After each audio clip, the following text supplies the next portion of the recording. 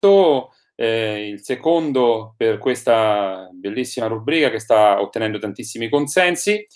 Eh, ci stiamo già preparando per i prossimi appuntamenti, quindi non mancate perché eh, sono veramente ricchi. Poi dopo ve ne parlerò al termine dell'intervista. Stasera abbiamo un amico e direi anche uno chef di competenza, eh, in quanto sono tantissimi anni che sta ai fornelli, come i nostri amici chef che intervisteremo, eh, sono lontano dai riflettori, lontano dai mass media, ma sono molto molto vicini, vicini al cliente, molto vicini a, alla cucina, ai fornelli, perché è la loro vita e questo lavoro lo fanno con passione. Sto parlando di Claudio Pucci, che vedo che è già collegato, quindi eh, vi rinnovo l'invito, come sempre, eh, visto che abbiamo questi personaggi del mondo della gastronomia, di approfittare per fare domande eh, o curiosità o chiedere magari qualche delucidazione su qualche cosa che, qualche difficoltà che incontrate in cucina, chiedere qualche segreto, cioè sono a nostra disposizione. Eh, quindi io direi di approfittare ogni volta che ci troviamo a confronto con questi personaggi del mondo eh, della gastronomia, della ristorazione. Quindi lo vedo collegato. Eh, ciao direi... Eccoti, ciao Claudio. Ciao, ciao Egno, saluto il pubblico. Ciao, benvenuto. Sono contento che hai, che hai, accettato il nostro invito. E, ehm, è, è, un momento che stiamo ripartendo tutti quanti. So che poi ci racconterai insomma come si svolge il tuo lavoro. Eh, non dico adesso in, tutti, in, questi, in questi giorni, ma quello che, che sarà, quello che comunque vivi da tantissimi anni in cucina. E io per non perdere tempo, eh, perché so che hai da fare, partirei subito con la prima domanda, che è questa. Come nasce lo chef Claudio Pucci? Io ti conosco da tanto tempo, ma probabilmente i nostri spettatori invece ti conoscono molto di meno di me. Eh, ho iniziato tanti anni fa, eh, ho iniziato a fare la scuola alberghiera a Torino, eh, era il 73, figurati, eh, sono passati 40 qualche anni. Anno fa, qualche anno qualche fa. Anno fa. Poi facendo la scuola alberghiera, ogni anno, finita la scuola, andavo a fare delle stagioni estive nei, nei mari e così ho cominciato a fare questo mestiere finché nell'86 mi sono stabilito qui proprio definitivamente all'isola d'Elba, ho trovato un albergo, mi piaceva e sono, sono rimasto qui insomma ormai dall'86. Mi, mi ritengo più elbano che torinese, insomma, elbano d'adozione. È il bano d'adozione, bellissima questa cosa qui. È il bano d'adozione, perché ormai, insomma, ho passato, diciamo, 40 anni della mia vita, anzi, forse più, uh, qui all'Isola d'Elba. Beh, ho iniziato po'... nel 76 facendo eh. le stagioni, ma dall'86 fisso. E questa, insomma, questa isola mi ha dato molto, insomma, mi ha... Beh, è un posto bellissimo, meraviglioso. È un posto eh. bello, magnifico, eh, eh, spiagge belle, so, insomma Anzi, è un posto e poi è tranquillo, quello è la cosa... Non è poco, invitiamo anzi a, a invitiamo la gente a venire proprio... Sia per la ristorazione che è meravigliosa, eh, poi ce ne parlerai, sia per la ristorazione che è meravigliosa che per il luogo che è bellissimo, insomma, quindi sicuramente è un posto da, da visitare, assolutamente. Ecco, tu hai detto 40 anni, in, oltre anzi 40 anni in cucina, no? Sì, eh, sì. Quindi, senza smettere mai, ma cosa ti guida nella tua professione? Quali sono, come la conduci? Eh, ho iniziato piano piano finché poi un giorno qualcuno si è fidato di me, mi ha messo in mano una cucina. Sto parlando dell'89, da allora insomma sono in cucina a dirigere cucine d'hotel. Non ho girato tanti hotel, tre o quattro hotel qui all'isola d'Elba, mm, con per, per, diversi anni, non è che ogni anno cambio, insomma così.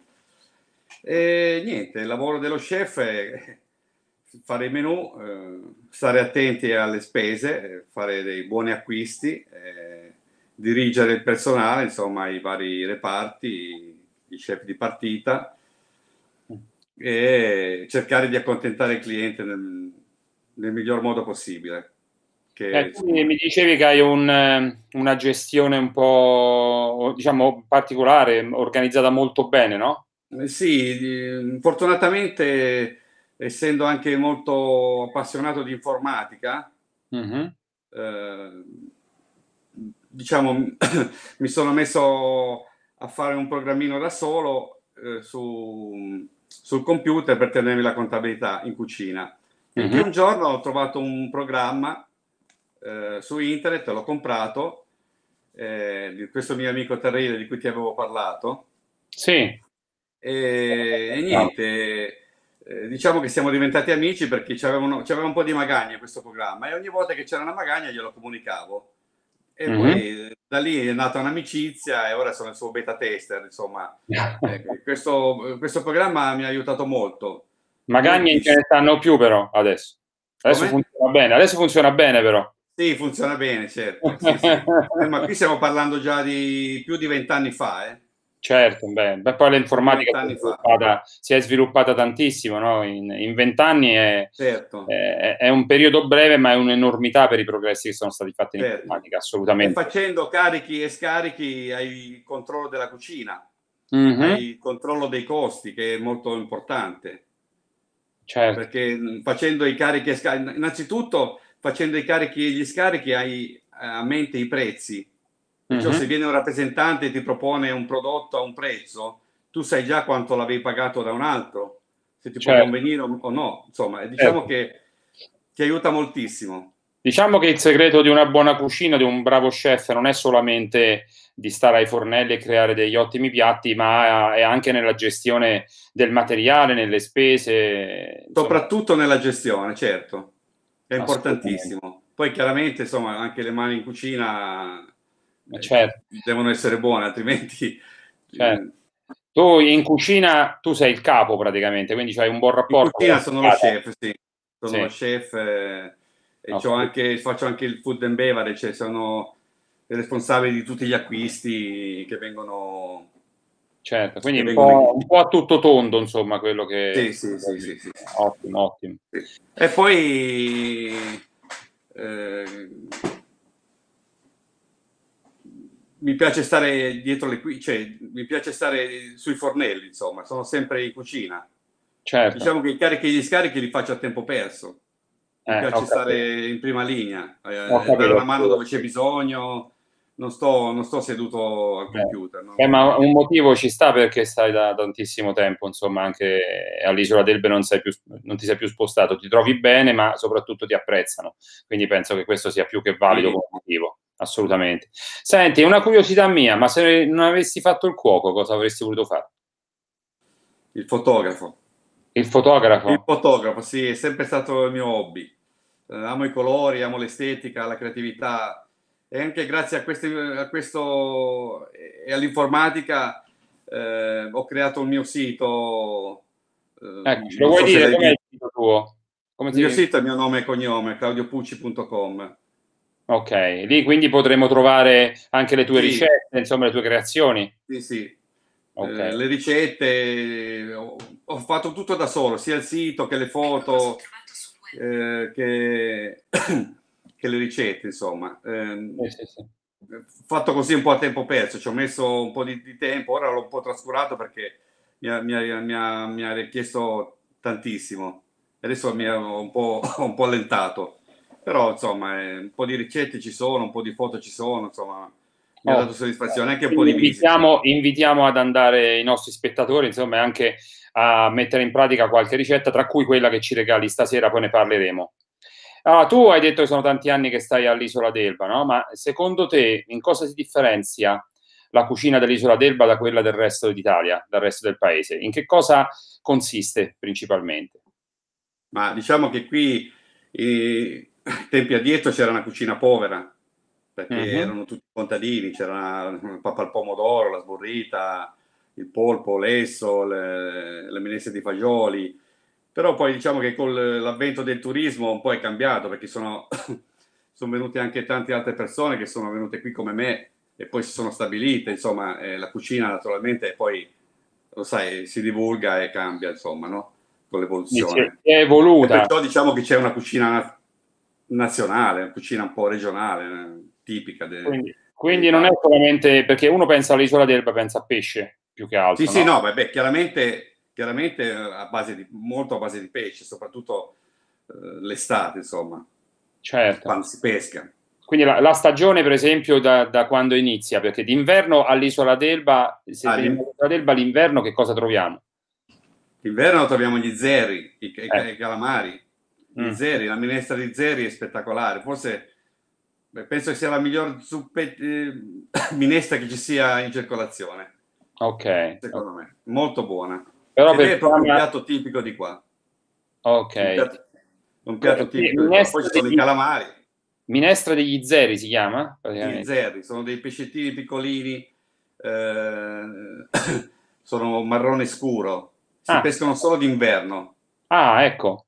Eh, sono, sono, buonissimi, sia fritti o in carpione o la minestra di zeri secondo me è ancora più buona. Ottimo. Però se uno è, è molto de... semplice cioè, io conosco persone che eh, sono amanti della ciccia più che della, del pesce. Se, se, voglio la ciccia la trovo, insomma, no? perché la ciccia certo, si, si trova tutto. Sì, si sì, trova sì, tutto quanto, non è che so per forza il pesce, no, insomma, no. troviamo tutto quanto. Certo, si trova tutto qui. qui.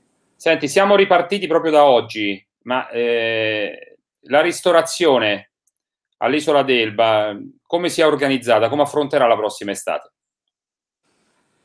Ah, qui eh, sarà insomma da vedere perché anche noi quest'anno in hotel eh, apriremo un, sicuramente in ritardo perché mm. le date ah, saranno... Ricordiamo dov'è che lavori tu, ricordiamo che non abbiamo... la Perla del Golfo. La Perla del Golfo, ok. a Procchio. Eh, abbiamo perso sicuramente un tre mesi di stagione perché inizieremo a fine giugno, primi di luglio e con un personale ridotto perché non sappiamo i numeri che potremo fare e, insomma diciamo che siamo un po' al buio mm-hmm. per il momento. Si spera che arrivi il turismo e che magari possiamo assumere un po' di personale in più, anche perché purtroppo tenere la, la, gente a casa in questo momento è forse una delle cose peggiori che possa succedere Assolutamente. Il turismo principalmente da chi è fondato? Da, sono stranieri più che altro o italiani? Eh, diciamo che durante l'estate, luglio-agosto, italiani, famiglie. Noi lavoriamo mm. molto con le famiglie, ci sono i bambini, insomma. Eh, in bassa stagione invece ci sono i tedeschi, gli svizzeri, gli austriaci eh, e gruppi, gruppi ah. di francesi, di italiani, insomma dipende da... proprio nelle basse stagioni di ottobre e di, di aprile si fanno dei gruppi. Quindi poi apertura e chiusura stagione in realtà poi. Come? Apertura e chiusura stagione in pratica. Apertura e chiusura stagione sì, sono gruppi, esatto con qualche privato, ma ormai i privati sono pochi, diciamo. Ok, ok, ok. Ascolta, vista la tua esperienza, mi permetto di chiederti una cosa che magari può essere interessante per i nostri spettatori.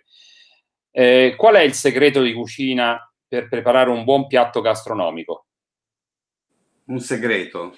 Sì, un qualche cosa che magari eh, un qualche cosa che tu utilizzi in cucina o comunque un qualche cosa che un consiglio insomma, che puoi dare a chi è che vuole realizzare un piatto che, che faccia effetto? Guarda, ti, ti, ti, racconto questa minestra di zere perché ce l'ho nel cuore. Ok. Eh? Va bene. Eh, praticamente eh, si prendono gli zeri e si puliscono. Mm-hmm. Poi facciamo un piccolo soffritto di cipolla, sedano e carota mm-hmm. con un po' di un pomodoro e qualche foglia di prezzemolo e peperoncino. Facciamo ros- rosolare molto bene. Mm-hmm. Aggiungiamo i, gli zeri puliti e li facciamo rosolare un pochettino. Sì. Bagniamo col vino bianco e poi mettiamo dell'acqua e sale e facciamo bollire una mezz'oretta.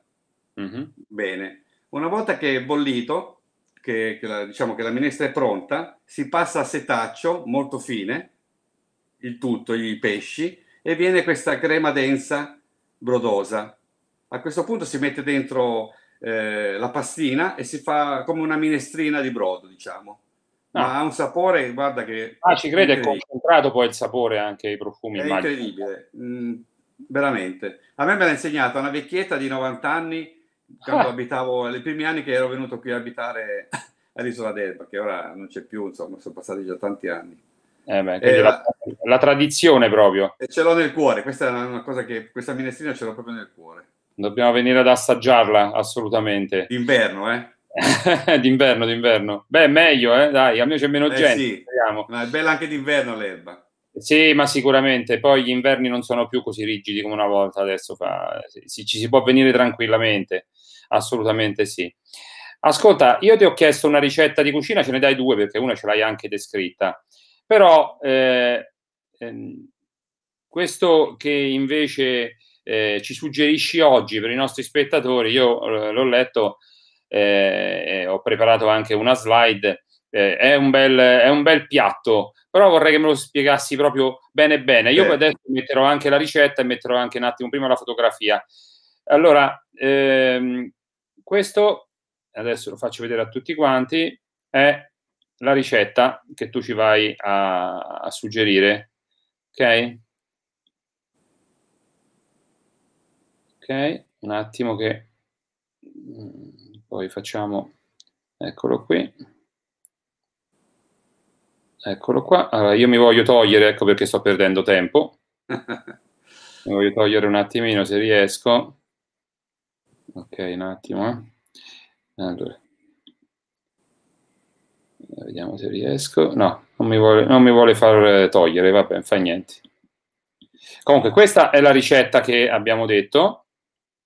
Okay. Sì, sono i eh, timballo di tagliolini alla, alla gran seola. Mm-hmm. Comunemente ecco, chiamata la gran seola, per chi non la conosce, che cosa La gran seola è come un granchio, un granchione grosso. Mm-hmm. Qui all'Elba la chiamano margherita ed è uno dei piatti tipici dell'isola d'Elba. Uh-huh. Eh, gli spaghetti alla margherita, o insomma, io ho fatto così a timballino, a, a tagliolino, ma e qui sono famosi gli spaghetti eh, alla margherita, che poi sarebbe la gran seola. Ah, ho capito. Come si fanno questi? Anche questa, allora, mh, mm, si pulisce la gran seola bene, si apre, si prende tutto l'interno, poi si tagliano a pezzi il, cor- il corpo, il carapace uh-huh. si taglia a pezzi, la parte alta si butta. Una volta che è tutto bella pulita, pronta, si fa un soffritto di cipolla, aglio, prezzemolo, peperoncino, olio extravergine, si fa rosolare bene, si uh-huh. mette a soffriggere la gran seola, uh-huh. si, si, lascia un attimino eh, rosolare, poi si bagna con vino bianco e si aggiunge pomodoro. Una volta che si è aggiunto il pomodoro, io, uh, questo è un segreto. Mm. Qual è? Si, lo, lo, chiudo nel, lo chiudo, lo tappo col coperchio e lo faccio bollire molto forte. Deve proprio so, bollire forte, forte, forte, forte. Eh, ogni tanto lo, sto attento, alzo il coperchio e giro, bisogna stare attento perché schizza. Però diciamo che questa forza eh, estrae dal carapace tutto il gusto e la dà al, al pomodoro. Ho capito eh, fai bollire tipo 10 minuti, un quarto d'ora, poi lo spegni. Una volta spento io ci metto una noce di burro a fuoco spento e lo lascio lì. E poi quando all'occorrenza lo salto gli spaghetti o preparo i timballini o, o ci posso fare anche un, un, risotto, un timballo di riso. Ho capito. Buonissimo. Insomma. Ho capito, ho capito, ho capito. Quindi anche questo qui è da provare, perché Gran Seola io l'avevo sentito come nome, ma non avevo ben presente qual sì, era la... È un granchione un po' più grosso, fa ah, parte sempre dei, dei, crostacei. E comunque eh, si trova all'intorno... Molto, molto, molto saporito. La terra, insomma, è facile trovarlo. È pieno, sì, sì, in primavera. Sì. Questo è proprio il periodo delle, questo è il periodo delle margherite, delle granzeole. Ho capito, ho capito, ho capito. Ehm, un attimino che... Ehm, allora, io con questo eh, con questa tipologia di piatti è, è, facile unire un elba bianco perché siamo proprio nella zona dell'elba, quindi un elba doc sicuramente eh, ci, sta, ci, sta, sicuramente bene, eh, anche perché eh, il, la granzeola eh, ha una buona tendenza dolce e eh, l'elba bianco ha una buona acidità, quindi riusciamo veramente a contrastarlo bene. I profumi di questo piatto sono buoni ma non particolarmente intensi, quindi un Elba bianco penso che sia la scelta migliore. Altrimenti, sempre per rimanere con eh, un vino di mare, io direi di provare un, um, un, um, un Enzolia o Anzonica toscana, che sicuramente è un altro vino che potrebbe trovare un ottimo abbinamento con questa tipologia di, eh, di, di piatto gastronomico. Eh, io ti ringrazio per questa ricetta, poi dopo chi la vorrà eh, me la potrà chiedere perché ho preparato poi dopo una slide con tutte quante le, le diciamo sia il procedimento che eh, le, le, quantità degli ingredienti. Eh, ti chiedo un'ultima cosa, eh, un consiglio che vuoi dare ai giovani che vogliono intraprendere la tua stessa professione? Eh, amore, perseveranza e pazienza. Perché questo è un lavoro che inizialmente è molto duro eh, e prima di raccogliere i frutti devono passare un po' di anni. Ecco. Non arriva, non arriva così velocemente il, diciamo, questo lavoro qui.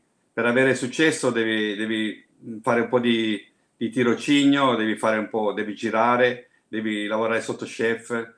Eh, diciamo che non ripaga subito, però una volta che sei arrivato è un lavoro che dà grandissime soddisfazioni. Ce ne sono pochi che danno tante soddisfazioni così come questo lavoro.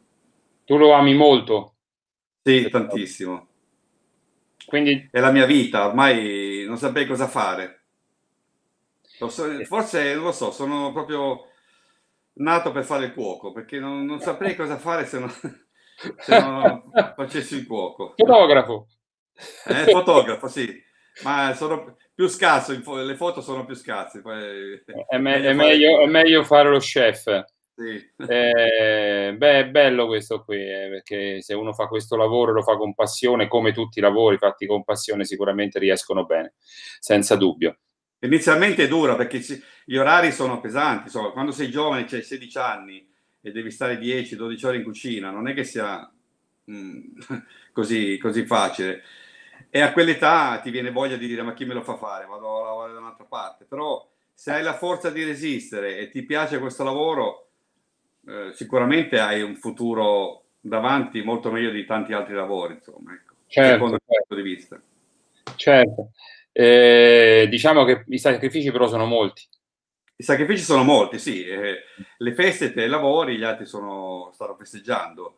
Eh, mm. D'estate tutti vanno in vacanza e te stai lavorando. Eh, tu, le vacanze magari te le fai a gennaio quando tutti sono a lavorare. Certo, certo, Ci certo. sono i pro e i contro, insomma, in tante cose, però... È abbastanza pesante, sì. Eh, così, è abbastanza pesante. Lavoro... Diciamo che non dobbiamo farci prendere la mano da, da quello che si vede in televisione no, perché... No, eh, assolutamente. Ma ecco, poi ma poi ci abitui dopo, no? A non fare il Natale. Per me il Natale e la Pasqua non sono feste, io non, non, certo, non, chiaro, non le sento lavoro... neanche perché le ho sempre lavorate. Perciò non... assolutamente, assolutamente sì, sono d'accordo.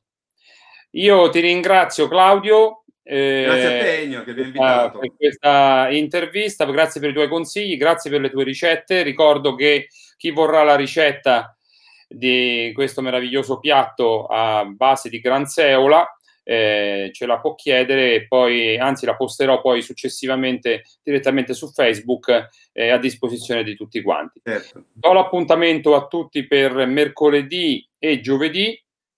Mercoledì eh, l'appuntamento è per degustato eh, per voi. Credo che la degustazione verrà condotta, poi adesso tendo conferma, da Chiara Giorleo. E, e giovedì intervistiamo eh, Stefano Pieri, eh, lo psicologo della strada, con così ama definirsi e poi gli chiederemo il perché. Eh, eh, ormai è diventato, non dico un divo della televisione, ma eh, spesso in televisione, il sabato mattina in particolare sulla RAI, eh, e si sta occupando di un progetto di avvicinamento, di colloquio, diciamo così, con i giovani per il bere consapevole. Anzi, si è già ben avvicinato e sta portando avanti questo progetto. Chiederemo anche di questo a Stefano Pieri. Grazie a tutti, grazie per averci seguiti, grazie Claudio Pucci, chef da Ciao, Enia, grazie anni. a tutti. Grazie Ciao. per quello che fate tutti voi. Grazie ancora. Ciao, Buonasera ciao. a tutti. Ciao.